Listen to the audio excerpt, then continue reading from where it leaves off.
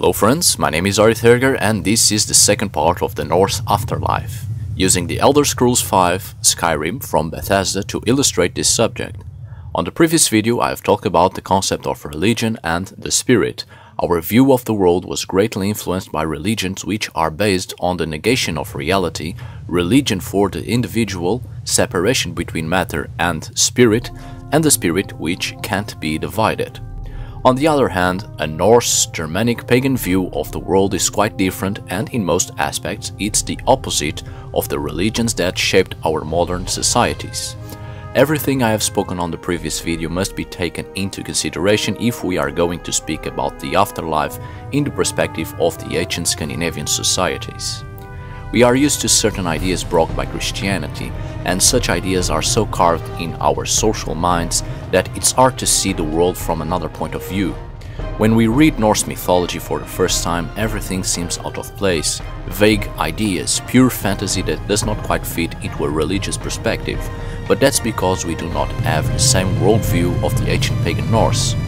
Understanding their perspective on life and the relation with the divine everything else in Norse mythology, the sagas and folktales start to make perfect sense. On this video I'm going to talk about the concept of the underworld, the ancestors and also the Draugr. But let's start with Hel, the realm of the dead. As you know, with Christianity, Hell became associated with the infernal realm of the Christian faith, and even in anthropological, archaeological and historical studies we couldn't let go the idea of Hell being a spiritual realm. Even our Norse ancestors started to see hell as a spiritual world when they came in contact with Christian ideas. By the time the Norse started to record their spirituality into parchment, they were already Christianized, so it's perfectly natural that their spiritual perspectives change. But if we take a look at the pre-Christian Germanic societies, the concept of hell wasn't spiritual but literally beneath the earth. The pre-Christian Norse saw the underworld as something literal, the earth right under our feet, where previous generations are buried. At first it seemed strange, but let's take a few factors into consideration. First, the places where the dead were buried were considered sacred sites. Secondly, the tombs were doors to access the world of the dead, literally. Thirdly, the dead who were recognized for their influence on luck and fertility during life were worshipped with the same respect people worshipped the gods themselves. For instance, Halfdan the Black, a 9th century king of Vestfold, Norway. His body was divided into four parts, taken to different locations of his kingdom in order to maintain the fertility of such regions.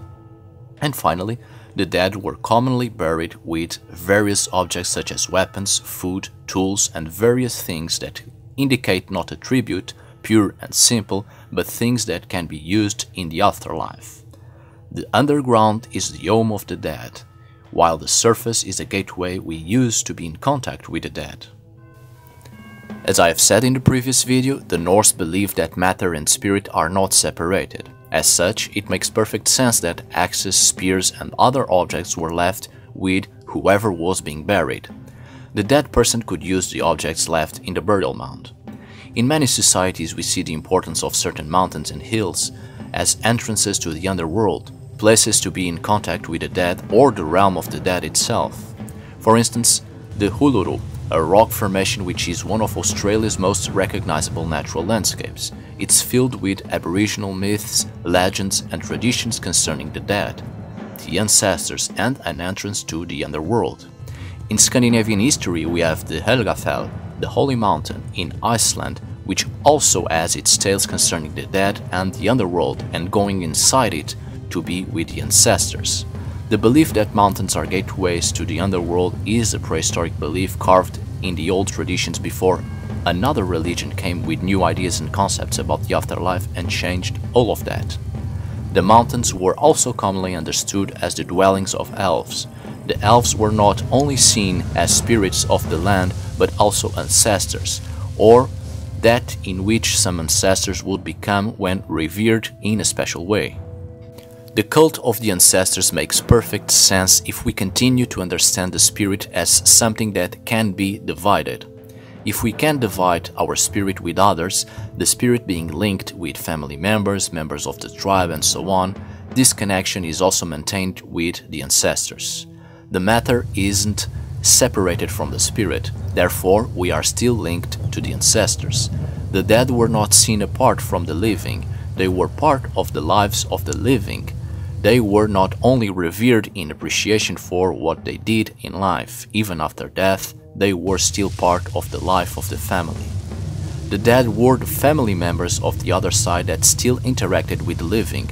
This is why offerings were left to the dead, to ensure a continuation in the friendship and respect between the living and the dead. Speaking of the dead, this is when we have to speak about the Draugr, a very important part of the concept of life after death, especially among the Germanic and the Norse, were the Draugr, the animated dead. A Draugr was a sort of a living dead. Of course, the concept we have of Draugr nowadays is of something that resembles a zombie, but that's a very Southern American concept. The European concept of the living dead varies. The Draugr is sometimes seen as a ghost, but again it was shaped by our modern view. The Draugr is not just a ghost that only inflicts psychological damage. The Draugr is an animated corpse with great strength that can physically attack living humans. Of course, the zombie is very similar, but that is a mindless creature under the control of something or someone, which has no free will. The Draugr had a sort of conscience. It was animated by the spirit, and even though it remained in its tomb, it continued to haunt the living human community. In the sagas, the decapitation or cremation of the body was the only way to destroy a Draugr, much like a vampire. In this case, it shows that the destruction of the material body seems to release the Hamra, the spiritual form. In our modern minds, bodies rarely remain attached to the spirit of the dead. The destruction of the body does not imply the destruction of the spirit. One worldview believes in the separation of the body and spirit, and another believes that matter and spirit cannot be separated. Through the concept of Draugr, we see that the Norse believed that matter and spirit were linked and couldn't be separated. Therefore, the Draugr itself is linked to the place of its burial and to the way the dead were respected or worshipped by the living. This is one of the reasons I like this game, Skyrim. The Draugr here are not soulless, mindless zombies with no purpose whatsoever. The Draugr in here resembles the Norse concept of matter being linked to the spirit. In here this creature is animated by the spirit, it has a conscience, it's intelligent, it has a purpose and it's still very much in contact with the living because death does not belong to another reality, rather it's part of this world. Alright friends, thank you so much for watching. This subject will have a third part, so I'll see you on the next video. Tack för idag!